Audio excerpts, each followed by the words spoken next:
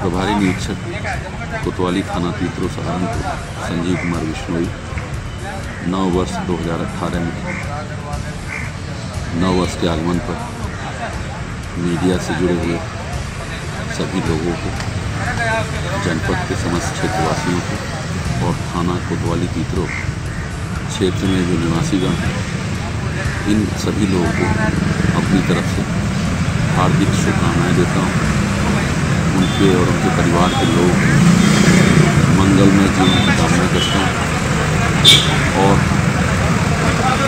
ये विश्वास दिलाता हूँ कि उत्तर प्रदेश पुलिस के द्वारा जो सेवाएँ अभी तक दी जाती रही, आने वाले समय में हम जनता को इससे और अच्छी, बेहतर सुविधा देने चाहते हैं